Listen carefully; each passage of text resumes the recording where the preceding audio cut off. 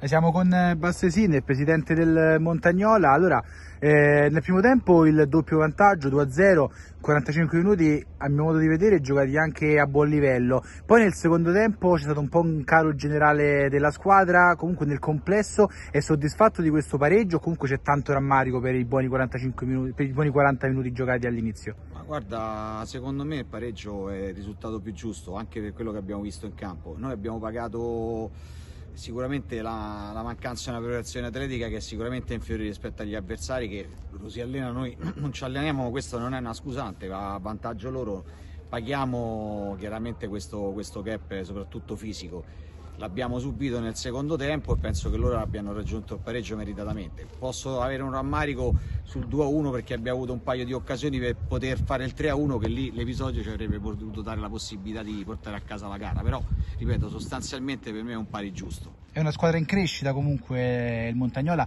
non era partita benissimo però insomma poi negli ultimi tempi i miglioramenti ci sono stati. Allora abbiamo fatto una serie di risultati positivi per fortuna che ci hanno dato morale, convinzione e questa partita Girandà l'avremmo sicuramente persa a mio avviso.